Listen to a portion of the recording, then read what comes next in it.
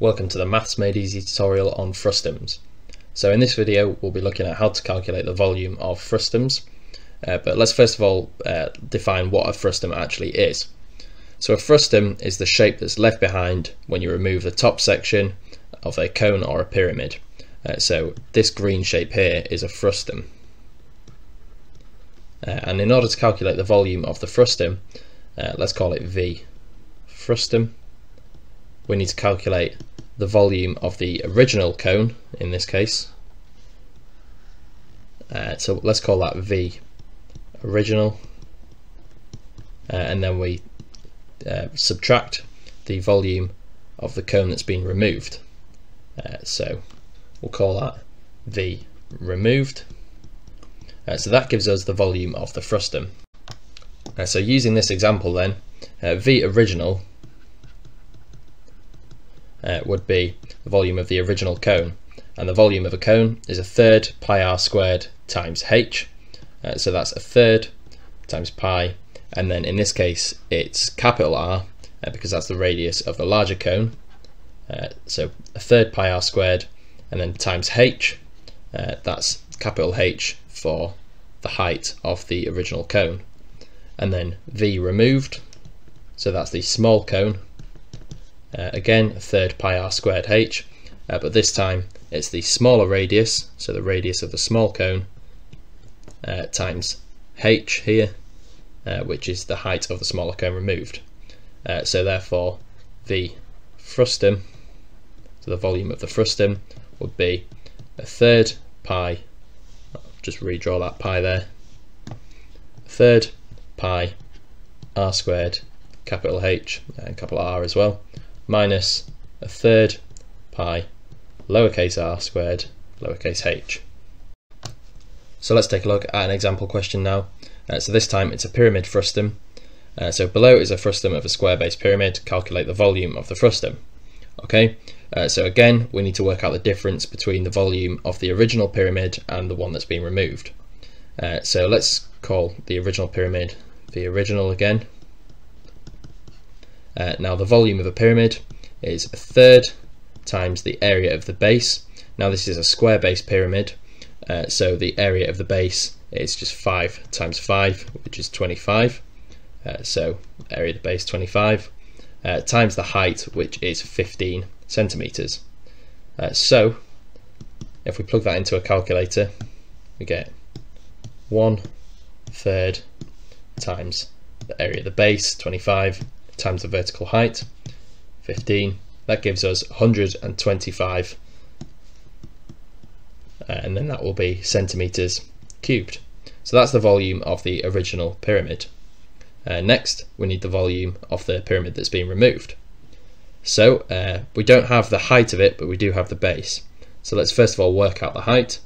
Uh, so the height of the original pyramid is 15 centimeters, and the height of the frustum is 6 centimeters. Uh, so the difference must be the height of the small pyramid, and that is 9 centimeters. So the volume, sorry, of the small pyramid that's been removed, so let's call it V removed again, will be a third times the area of the base. Now the area of the base in this case uh, is this square here, so that's uh, 3 centimeters by 3 centimeters, so 3 squared equals 9. So it's a third times 9 and then the height times 9 again. Uh, so if we plug that into the calculator, we get 1 third times 9 times 9, and that is 27. Okay, uh, so 27 centimeters cubed, that's the height, or sorry, the volume of the pyramid that's been removed. Now the volume of the frustum is just the difference between the volume of the original pyramid and the one that's been removed. So that's 125 minus 27, uh, which we don't need a calculator for that. That's just 98 centimeters cubed.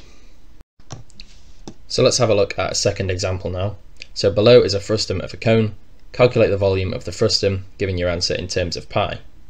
Uh, now if we look at this carefully, uh, we can see that we're actually missing the radius uh, for the top section of the, the cone that's been removed uh, but we can work it out uh, knowing that the two shapes are similar. In other words, the cone that's been removed is mathematically similar to the cone uh, that was originally there.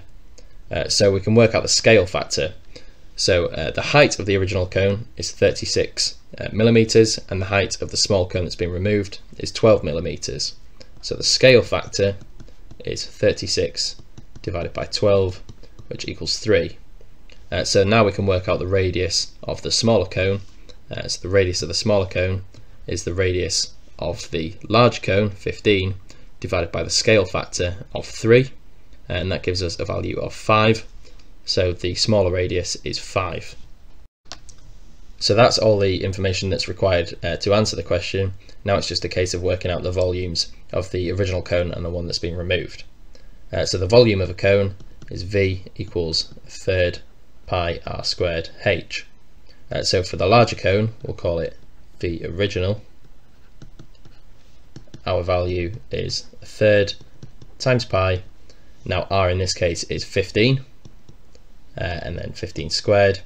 Now the height is 36 millimeters, so times 36. So if we plug that into the calculator, we get a third times pi times r squared, so 15 squared times 36, and that gives us 2700 pi. Uh, so that's the volume of the original cone. Now let's work out the volume of the cone that's been removed. We'll call it V removed again, uh, and then the formula is the same, a third pi. Uh, in this case, we use the value of r that we've just calculated, so that's 5 squared and then the height of the smaller cone is 12. So if we plug that into a calculator, get a third times uh, pi times r squared, so 5 squared times 12 in this case, and that gives us 100 pi. So the volume of the frustum then is just the difference between the two volumes, so that's 2700 pi minus 100 pi, which gives us 2600 pi. And that's our final answer because the question says give your answer in terms of pi. So frustums can be quite a challenging topic and the questions can be quite tricky. Uh, so why not have a practice with our online exam? Uh, you can find it through our revision platform and you'll find lots of different questions, a variety of question types and you'll get instant feedback on each and every one of them. Uh, so this will allow you to keep track of the areas that you need to improve at. So if you're interested, uh, you can click the link below and it'll take you straight there. You can practice the exam.